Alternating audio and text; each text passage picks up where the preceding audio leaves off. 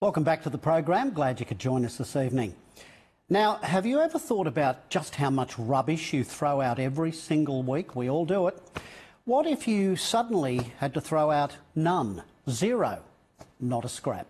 Well, the family you're about to meet have done exactly that, and what's more, they say it's helped them lose weight and save thousands of dollars a year.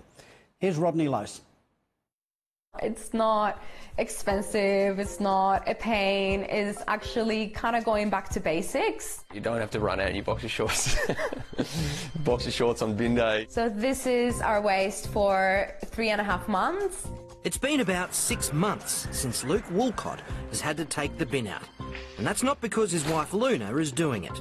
I remember cutting down around 80% of our waste probably like in a month and a half.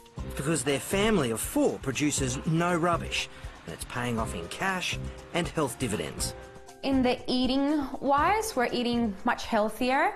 Lots of foods, everything that we make is from scratch. Luna's lifestyle change was sparked a bit over a year ago when she saw this photo from her home country of Puerto Rico after it was hit by a hurricane and the amount of rubbish that was piled up. It was just like that. When, as soon as I saw that picture, I said, okay, I'm just gonna do it. So I told him, okay, we're gonna go zero waste. Researching on the net, she totally rethought how she consumed and the rubbish the family created. How much would you produce? Oh, it's embarrassing a lot. So much. My husband was definitely the person that would say, how are you buying so many things that are in packaging? Luna now won't buy anything unless the container is reusable, compostable, or worst case, recyclable. It's something that's definitely possible. She buys all her fresh produce at her local farmer's market. If it's in plastic, she won't buy it. And everything else she gets here at the bulk store, including flours, grains, nuts, even dishwashing liquid.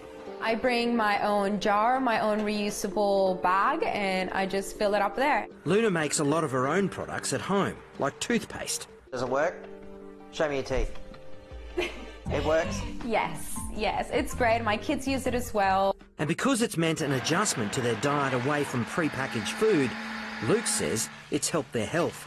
I've lost a few kilos, um, lost my, my spare time, my dad bod. Just slowly sustainably changing your diet to eating wholesome foods is inevitably going to be the best way to lose weight anyway because it's the it's a good foundation for your diet. He hasn't even had to give up beer. I found this place that they just refill your bottles for you, so you, you don't actually have to consume, and that's that's a huge benefit. and while a lot of people's eyes glaze over when it comes to things like saving the planet, Luna says their lifestyle change pays its own way. We save around $200 a month. Luna says the crazy thing is, is this is how everybody lived just 50 years ago. We've just become addicted to convenience. One of my main inspirations at the moment is my mother-in-law and my grandmother. So I love just picking their brain on what they used to do back in the day before all these convenience foods were out there. So with a month left in what was a 12-month challenge, will they go back? To a packaged life. I'll live this way. It's it's easy. Once people ask me all the time, oh, isn't that difficult? But it's it is quite easy once you've got the foundation and you you set up at your house. It's it's actually easier, I find.